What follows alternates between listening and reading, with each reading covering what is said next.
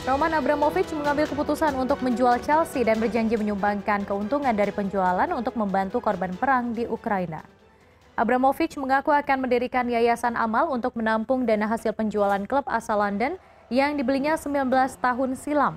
Dari yayasan tersebut, Abramovich akan menyalurkan semua keuntungan guna membantu korban perang di Ukraina, termasuk dana darurat untuk kebutuhan mendesak, serta mendukung pemulihan jangka panjang.